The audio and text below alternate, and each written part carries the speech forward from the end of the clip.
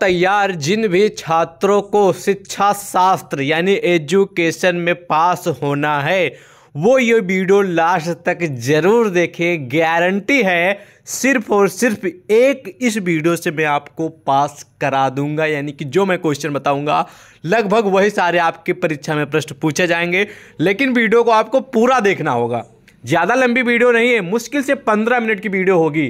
लेकिन आप लोगों की साल भर की मेहनत सिर्फ़ एक ही वीडियो में क्लियर करने वाला हूँ। कौन कौन से प्रश्न आएँगे और कैसे कैसे आपको तैयार करके जाना है क्वेश्चन और कौन कौन से क्वेश्चन पढ़ना है, वो मैं आपको बताऊँगा। अगर आप रूल्स, कानून जो मैं आपको बताऊँगा, फॉलो कर लेंगे तो गारंटी है हंड्रेड आपको परीक्षा में कोई भी फेल नहीं कर पाएगा, गारंटी है। तो चलिए, वीडियो को शुरू करते हैं। नमस्कार दोस्तों, मैं संदीप, स्वागत है आप सभी का आपके अपने चैनल सक्सेस टू पर। दोस्तों, आज किस वीडियो के अंतर्गत बात करने वाले हैं हम? बी ए फ़र्स्ट ईयर के, फ़र्स्ट सेमेस्टर के जो भी छात्र हैं, जिनका एजुकेशन यानी शिक्षा फाफ्त का पेपर है, उनके लिए वीडियो मोस्ट इंपॉर्टेंट है। पूरा का पूरा मैं क्वेश्चन पेपर, मॉडल पेपर भी लेकर आ चुका हूँ और मोस्ट इंपॉर्टेंट क्वेश्चन भी लेकर आ चुका हूँ। इसी वर्ष 2023 का एजुकेशन शिक्षा फाफ्त का ये मॉडल पेपर है। प्रूफ के तौर पर आप देख रख सकते हैं बीए फ़र्स्ट सेमेस्टर एग्जामिनेशन दो पेपर है, यानी सब्जेक्ट का नाम है एजुकेशन। और जो पेपर का नाम है, ध्यान से सुनिएगा, फ़िज़िकल एजुकेशन वाले जो छात्र हैं, उनके लिए ये वीडियो मोस्ट इंपॉर्टेंट नहीं है, ध्यान से सुन लीजिए। ये वीडियो जिनका शिक्षा शास्त्र फ़िज़िकल शिक्षा शास्त्र वाला नहीं फ़िज़िकल एजुकेशन वाला ओनली एजुकेशन और पेपर का जो नाम है वो है कंसेप्चुअल फ्रेमवर्क ऑफ़ एजुकेशन ठीक है? तो चलिए हम बढ़ते हैं मोस्ट इंपॉर्टेंट क्वेश्चन की ओर, जो कि आपकी परीक्षा में कौन कौन से आएँगे उनकी ओर। ठीक है? यहाँ पर बताया गया है अलग अलग यूनिवर्सिटियों में टाइम अलग हो सकता है। नंबर जो है पचहत्तर नंबर का होता ही पूर्णांक आप सभी को मालूम है ये। ठीक है? आते हैं मेन मुद्दे पे, यानी क्वेश्चन पे।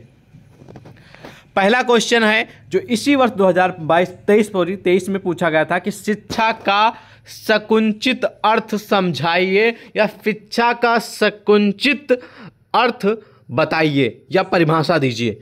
तो सिंपल भाषा में आपको इसका उत्तर लिखना है, ठीक है? लिखना है कि सकुंचित अर्थ में शिक्षा किसी समाज में एक निश्चित समय तथा निश्चित स्थान, जैसे विद्यालय, महाविद्यालय में सुनियोजित ढंग से चलने वाली एक सा, ठीक है स्व उद्देश्य सामाजिक प्रक्रिया है, जिसके द्वारा विद्यार्थी निश्चित पाठ्यक्रम को पढ़कर संबंधित परीक्षाओं को उत्तीर्ण करना सीखता है। एग्ज़ाम्पल के लिए मान लीजिए आप बीए के छात्र हैं, ठीक है, और आप कि जो सब्जेक्ट है वो शिक्षा शास्त्र है। आपने शिक्षा शास्त्र में जो जो सिलेबस हैं, उनको पढ़ा, उनमें जो जो क्वेश्चन दिए गए, उनको तैयार किया। तैयार करने के बाद आप विद्यालय की न, किसी न किसी विद्यालय में पढ़ तो रहे होंगे, ठीक है? किसी न किसी यूनिवर्सिटी में। तो वहाँ से आपने अपनी पढ़ाई पूरी की, यानी कि सिलेबस पढ़ा क्वेश्चन पढ़ा, उसके बाद आपने परीक्षा दी। परीक्षा को पास किया तो कुल मिला के यही सारी प्रक्रिया को ही हम शिक्षा का सकुंचित बोलेंगे, ठीक है? सकुंचित चीज़ बोलेंगे। तो इस प्रकार आप इसका उत्तर लिखेंगे, जो कि मोस्ट इंपॉर्टेंट है सिंपल भाषा मैंने आपको बताया गया। बता दिया आई होप आपको समझ में आ गया होगा। ठीक है? और क्वेश्चन इंग्लिश में भी आप इंग्लिश प्रेफर करते हैं तो इंग्लिश में भी पढ़ सकते हैं। छात्रों के द्वारा दोस्तों क्वेश्चन पेपर भेजा गया है। हो सकता है आपको क्लियर ना दिखे तो उसके लिए सॉरी चाहूँगा, फ़िलहाल मैं क्वेश्चन पढ़ दूँगा और पीडीएफ भी मैं आपको दे दूँगा, ठीक है? प्रश्न है अगला, कि भारत में राष्ट्रीय एकीकरण की आवश्यकता को संक्षेप में लिखिए। यानी कि भारत में जो राष्ट्रीय एकीकरण है, इसकी क्या ज़रूरत है? क्या आवश्यकता है? इसके बारे में आपको लिखना है, ठीक है? तो सिंपल शब्दों में आपको लिखना है कि किसी भी देश, ना कि ना कि भारत, किसी भी देश की शांति और समृद्ध बनाए रखने के लिए राष्ट्रीय एकीकरण अत्यंत आवश्यक है। जो राष्ट्रीय एकीकरण होता है, यानी कि भारत का जो राष्ट्रीय एकीकरण होता है, उसकी आवश्यकता इसीलिए होती है कि भारत देश में शांति बनी रहे, उपद्रव ना हो, समृद्धि बनी रहे, यानी कि किसी से दुर्व्यवहार ना हो, सब लोग एक मत में रहें, ठीक है? और इन्हीं सब की जो प्रक्रिया होती है मतलब साथ लेकर चले, भाईचारा बना रहे, किसी की उस तरह की कोई लड़ाई, झगड़ा या फिर कोई उत्पीड़ा ना उत्पन्न हो वो चाहे कि एक पार्टी से हो दूसरी पार्टी से हो या पड़ोस में हो या समाज में हो यानी किसी भी प्रकार की उपद्रव न हो शांति माहौल रहे और एक दूसरे के सुख दुख में उनका आ, मतलब साथ दें। इस प्रकार की जो समृद्धि वो बनी रहे इसी को हम राष्ट्रीय एकीकरण कहते हैं। ये राष्ट्रीय एकीकरण होना अत्यंत आवश्यक है। चलिए इसके आगे हम थोड़ा बता देते हैं। एक ऐसा देश जहाँ लोग एक दूसरे के साथ रहते हैं। एक व्यक्ति की तुलना में विकास और विकास की बेहतर संभावनाएँ, जो संभावनाएँ होती हैं, संभावनाएँ, ठीक है? संभावनाएँ हैं, जहाँ लोगों में एकता की कमी है, ठीक है? जहाँ लोगों में एकता की कमी है, नागरिकों के बीच एकता की भावना को बढ़ावा देने और बढ़ावा देने के लिए सरकार को पहल करनी चाहिए। किस पे? राष्ट्रीय एकीकरण पे, यानी कि जहाँ पर समस्याएँ हैं, एक लोग दूसरे देखने जलते हैं, या फिर एक प्रदेश या दूसरे प्रदेश, मान लीजिए उत्तर प्रदेश है, मध्य प्रदेश है, एक दूसरे से जलते हैं मतलब वो चाहते हैं कि हमारे यहाँ कोई ना आए, और मध्य प्रदेश वाले चाहते हैं कि हमारे यहाँ कोई ना आए तो इस प्रकार की कोई सिस्टम जो है वो ना हो मतलब एकीकरण रहे एकजुट, यानी कि एक दूसरे के सुख दुख में काम दे मतलब वो चाहे आए, ये चाहे जाएँ, चाहे जैसा भी करे मतलब उस तरह का कोई लीगल वर्क ही करें इनलीगल ना करें, जिससे सरकार को या फिर गवर्नमेंट को किसी भी प्रकार का इम्पैक्ट पड़े। तो कुल मिला के एकीकरण का मतलब यही हुआ कि शांति और समृद्ध बनाए रखना, ठीक है? नेक्स्ट क्वेश्चन है जो कि मोस्ट इंपॉर्टेंट है, हमेशा परीक्षा में आता है, इस बार भी आएगा हंड्रेड परसेंट गारंटी है गारंटी है गारंटी है। कि शिक्षा की दो परिभाषाएँ लिखिए, शिक्षा की दो अर्थ बताइए, ऐसा प्रश्न हो सकता है आपकी परीक्षा में। तो इसका उत्तर आपको मैं आपको बताऊँगा। सबसे पहले लिखना है दो परिभाषाओं के बारे में तो नंबर एक पे आपको पहले लिख देना है, ठीक है? लिखना है कि शिक्षा जीवन भर चलने वाली सतत प्रक्रिया है। यानी जो शिक्षा है, वो चाहे बच्चा हो, चाहे वो बालक मतलब कि थोड़ा बीस साल का लड़का हो, चाहे वो मध्यवर्गीय व्यक्ति हो या फिर ओल्ड एज हो, ठीक है? सभी के लिए शिक्षा ज़रूरी हो और ये साथ साथ चलने वाली प्रक्रिया है, ठीक है? और ये जीवन भर चलने वाली प्रक्रिया है। लोग शिक्षा ग्रहण करते रहते हैं, कुछ सीखते ही रहते हैं शिक्षा। कभी भी आप, ठीक है, पढ़ सकते हैं, कभी भी शिक्षा ले सकते हैं, ठीक है, किसी भी चीज़ की। तो ये जीवन भर चलने वाली प्रक्रिया है शिक्षा, ठीक है? और शिक्षा बालक के विकास में चलने वाली त्रिमुखी प्रक्रिया है। यह सामाजिक विकास की एक महत्वपूर्ण प्रक्रिया है। इसमें शिक्षक, समाज पाठ्यक्रम और विद्यार्थी शामिल होते हैं। ठीक है, शिक्षा के उद्देश्यों को प्राप्त करने की यह प्रक्रिया ठीक है, कि इस प्रक्रिया के अंतर्गत सामाजिक व संस्थागत प्रेरणा फलती फूलती हैं। तो इस प्रकार आप इसकी परिभाषा लिखेंगे। और दूसरी आप लोग लिख देंगे कि शिक्षित करने या शिक्षित होने की क्रिया या प्रक्रिया को भी हम शिक्षा कहते हैं। यह भी ऐसी प्रक्रिया एक चरण है शिक्षित होने की प्रक्रिया से उत्पन्न ज्ञान और विकास को भी हम शिक्षा कहते हैं। तो आप इस प्रकार भी इसकी परिभाषा लिख सकते हैं, ठीक है? तो बहुत सारी परिभाषाएँ आप अपने अनुसार लिख सकते हैं। अगर इतना भी लिख देंगे, तभी आप लोगों के लिए इनफ है। शिक्षा कोई कोई हार्ड क्वेश्चन नहीं नॉर्मल है, आप लोग लिख देंगे, ठीक है? नेक्स्ट क्वेश्चन आ गया आप लोगों के समस्त, जो कि मोस्ट इंपॉर्टेंट है कि अवकाश के सदुपयोग, हेतु तो शिक्षा की आवश्यकता, स्पष्ट कीजिए। तो इसका उत्तर आपको लिखना है कि यह क्रियाएँ रचनात्मक नहीं हैं। अपितु तो असामाजिक ही कही जा सकती हैं, क्योंकि लोग इससे न सिर्फ़ अपना समय नष्ट करते हैं, बल्कि दूसरों का समय भी नष्ट करते हैं। स्पष्ट है कि अवकाश का सदुपयोग सदुपयोग करने के लिए शिक्षा आवश्यक है। बालक को प्रारंभ से ही समय के मूल्य का ज्ञान देना और उसके सदुपयोग की शिक्षा देनी चाहिए। कहने का मतलब अवकाश में जो सत उपयोग मतलब कि जो लोग मान लो अवकाश है, छुट्टी है, उसमें शिक्षा का जो लोग यूज़ नहीं मतलब शिक्षा नहीं ग्रहण करते हैं तो छुट, अवकाश के समय में भी इसका जो प्रयोग है, वो करना चाहिए और शिक्षा देनी चाहिए। और जो मुख्य चीज़ है, ठीक है बालक मान लीजिए है, और उसको प्रारंभ से ही समय के बारे में बताएँगे कि समय कितना मूल्यवान है, और समय मूल्यवान है तो इसका यूटिलाइज यानी कि यूज़ ज़रूर करें। और शिक्षा में, ज्ञान में प्राप्त करने में इसका सदुपयोग करें, ठीक है? ना कि दुरुपयोग करें। तो इस प्रकार आप इसकी परिभाषा लिख सकते हैं। हालाँकि ज़्यादा लॉन्ग में नहीं लिखना है। नॉर्मल क्वेश्चन है। करीब करीब आपको सौ डेढ़ सौ शब्दों में लिखना है, ठीक है? हो सकता है यही प्रश्न आपके दीर्घ उत्तर में आ जाए तो आपको वहाँ पर थोड़ा लॉन्ग में पाँच सौ शब्दों के करीब लिखना होगा, ठीक है? तो क्वेश्चन जो मैं आपको बता रहा हूँ, इनका तो आप लोग टिक कर लीजिएगा। ये ये महत्वपूर्ण जो मैं प्रश्न बता रहा हूँ, इनको आप लोग ध्यान से सुन लीजिएगा और बाद में इनका उत्तर जो आप लोग क्वेश्चन बैंक इंटरनेट पर ढूंढ के पढ़ लीजिएगा, ठीक है? चलिए बढ़ते हैं नेक्स्ट क्वेश्चन की ओर। नेक्स्ट है कि भारतीय संविधान के मूल तत्व कौन कौन से हैं भाई? तो बहुत बहुत ही महा, महत्वपूर्ण प्रश्न है और मोस्ट इंपॉर्टेंट है, जिसके बारे में आई होप आप सभी को मालूम भी होगा।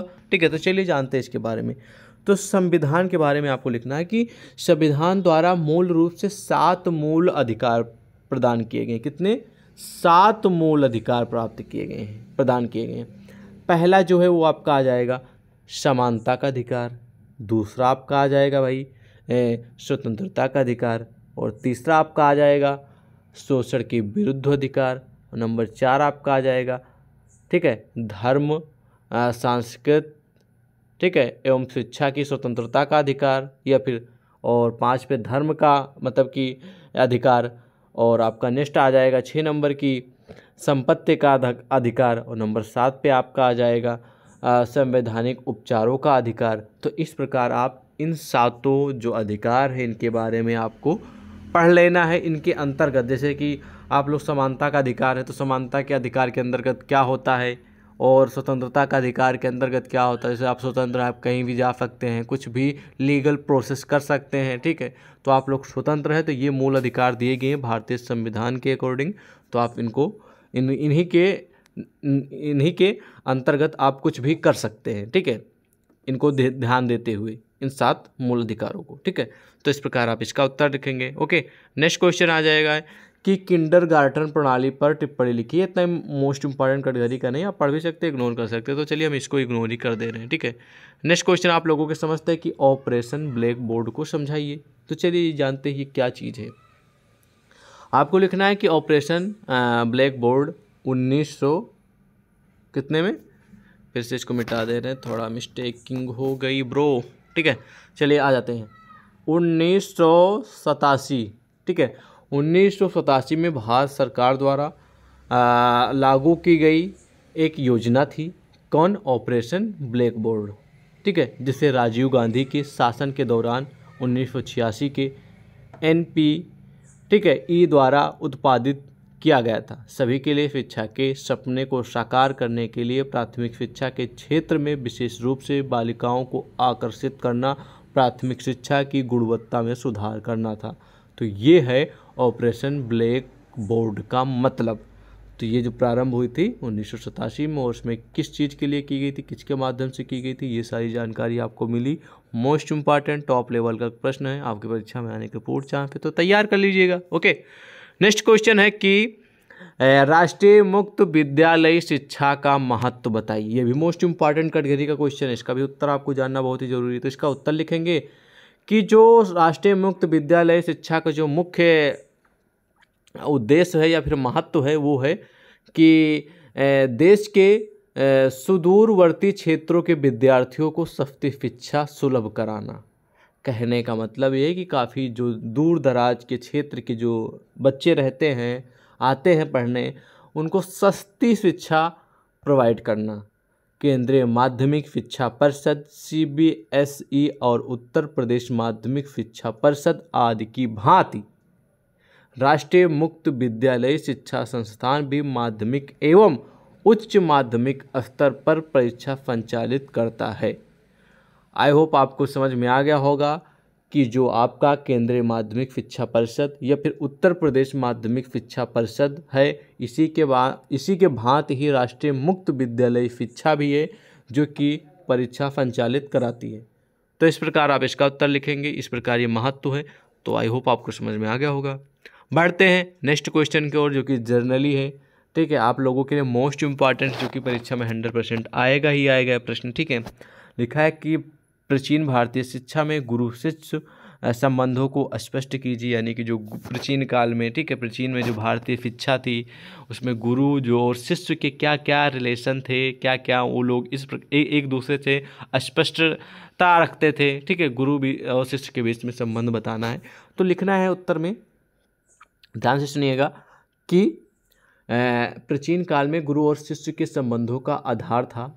गुरु का ज्ञान मौलिकता और नैतिक बल ठीक है? उनका शिष्यों के प्रति स्नेह भाव तथा ज्ञान बांटने का निस्वार्थ भाव यानी कि किसी प्रकार से वो नहीं चाहते थे कि हम आ, आ, किसी छात्र को बिना शिक्षा के भेजें या फिर कम शिक्षा के भेजें यानी कि जो भी उनके पास ज्ञान होता था गुरु को वो शिष्य को बताने का पूरा प्रयास करते थे निस्वार्थ भाव से उनको ज्ञान बांटते थे ठीक है?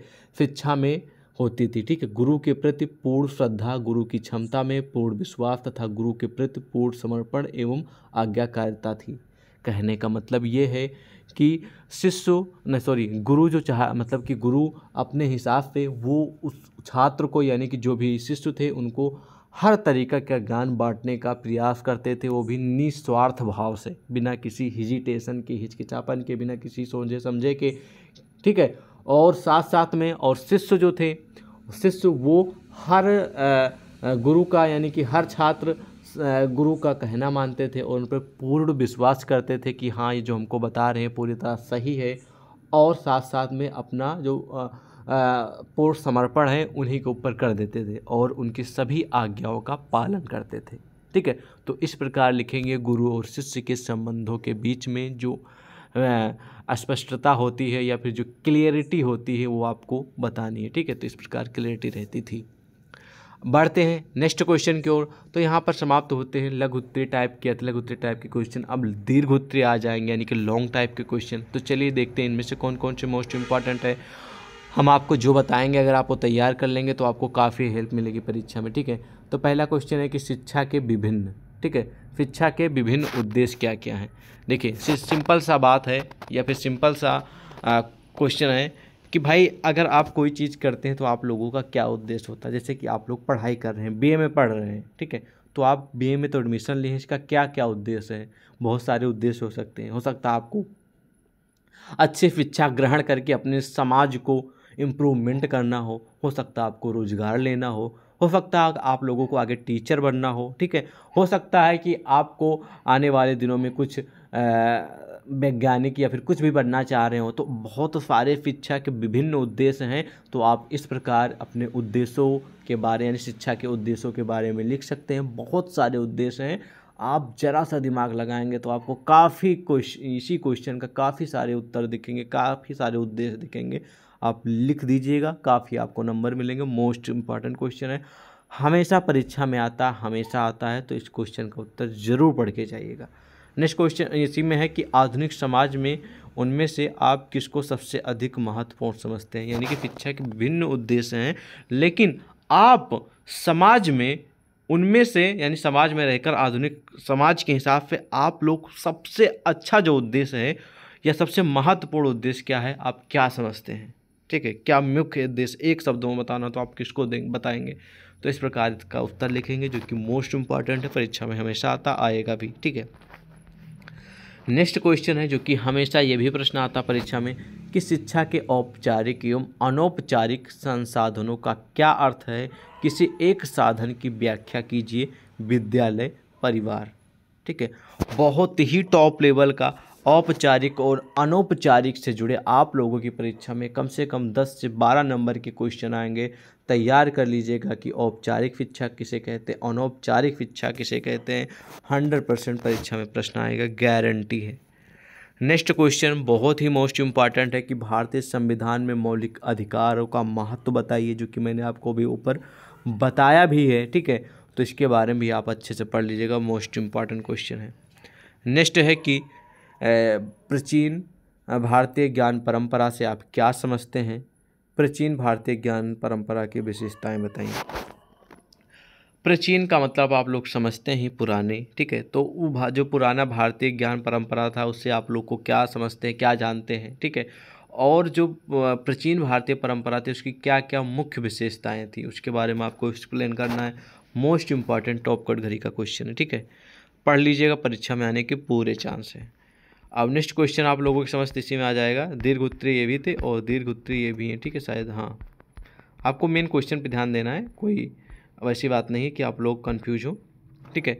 इसमें नेक्स्ट क्वेश्चन है कि राष्ट्रीय शैक्षिक अनुसंधान तथा प्रशिक्षण परिषद एन के उद्देश्यों की व्याख्या कीजिए। एन से जुड़ा एक क्वेश्चन ज़रूर आएगा, तैयार कर लीजिएगा। मोस्ट इंपॉर्टेंट क्वेश्चन है। इसी में नेक्स्ट क्वेश्चन है कि उच्च शिक्षा के उद्देश्यों को बताते हुए उच्च शिक्षा के मार्ग में आने वाली प्रमुख बाधाओं की व्याख्या कीजिए। उच्च शिक्षा आप लोग समझते किसे कहते हैं? जिसमें आप लोग बीए कर रहे हैं ना एमए कर रहे हैं ना तो इसी को बोलते हैं हायर एजुकेशन ठीक है? उच्च शिक्षा, ठीक है? उच्च शिक्षा के क्या क्या उद्देश्य हैं? उच्च यानी कि जो आप लोग बीए कर रहे हैं तो इस किस लिए कर रहे हैं? इसका क्या उद्देश्य है, ठीक है? और इसमें जो उच्च शिक्षा करने में बहुत सारी समस्याएँ आती हैं, उनके बारे में आपको एक्सप्लेन करना है। मोस्ट इंपॉर्टेंट क्वेश्चन है परीक्षा में आने के पूरे चांस है बी के छात्र हैं तो उस शिक्षा के हैं तो प्रश्न आएगा ही आएगा श्योर है तो तैयार कर लीजिएगा, ठीक है? ओके नेक्स्ट क्वेश्चन है कि माध्यमिक शिक्षा की आवश्यकता एवं महत्व बताइए। माध्यमिक शिक्षा, ठीक है? माध्यमिक आप लोग जो पढ़ते हैं शुरू में, ठीक है? तो माध्यमिक शिक्षा की क्या आवश्यकता होती है और उसके क्या क्या महत्व हैं? उसके बारे में लिखना है भी मोस्ट इंपॉर्टेंट क्वेश्चन है। अगला क्वेश्चन है कि इनमें से किन्हीं दो की व्याख्या करनी है, ठीक है? इनमें से दिया गया है, यूनेस्को दिया गया है, डाइट दिया गया है, यूजीसी दिया गया है। तो मैं आपकी जानकारी के लिए बता दूँ, पहला तो यूनेस्को के बारे में पढ़ लीजिएगा, दूसरा यूजीसी। यूजीसी आप लोगों को मालूम है ना? यूनियन ग्रांट कमीशन, यानी कि जो आप लोग जितनी भी यूनिवर्सिटी हैं उनको सभी, जितनी भी यूनिवर्सिटी हैं भारत में, सभी को यूजीसी ही कंट्रोल करता है। यूजीसी ही सारी नोटिस जारी करता है, ठीक है? जो आप लोगों की सेमेस्टर परीक्षाएँ हो रही हैं, ये यूजीसी ने ही ठीक है? ये नई शिक्षा नीति लाई है, इसी के हिसाब से सबसे पहले इन्होंने पूरा अपना फंडा तैयार किया, ठीक है? कि नई शिक्षा नीति लानी है तो सारे नियम कानून हैं यूजीसी के द्वारा ही बनाए गए यानी कि एक प्रकार से, जैसे आप लोगों के पिता, मान लीजिए आप, आपके घर में आपके पापा हैं, ठीक है? तो आपके पापा हेड है ना तो आप, पापा आपके जो कहेंगे कि बेटा ये काम कर लो, यहाँ जाना है, पढ़ने जाना है, ऐसे करना है तो आप सभी काम करेंगे ना, वैसे ही करेंगे ना?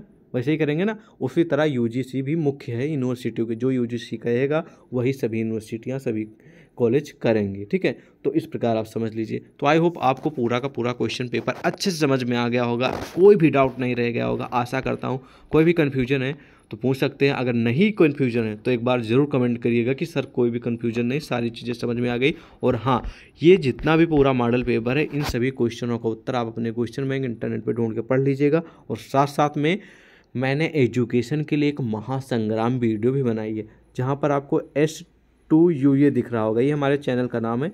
आप लोगों को समझ के साइड में गोल गोल यहाँ पर दिख रहा होगा ठीक है चैनल पे बगल में ठीक है?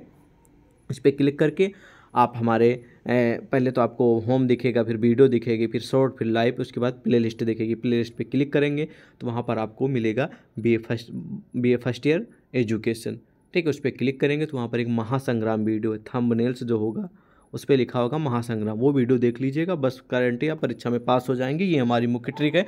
उसी में से सारे प्रश्न आपकी परीक्षा में आएँगे। एक भी प्रश्न ऐसा नहीं होगा जो इस वीडियो को देखने के बाद आपको अन मतलब कि अन्य कोई क्वेश्चन आया परीक्षा में। वो वीडियो में जो जो क्वेश्चन बताएँ वही सारे प्रश्न आपकी परीक्षा में लगभग आएँगे ठीक है? कोई भी ए, ऐसा क्वेश्चन नहीं आपको शायद देखने को मिलेगा जो अन, अलग जगह से आएगा।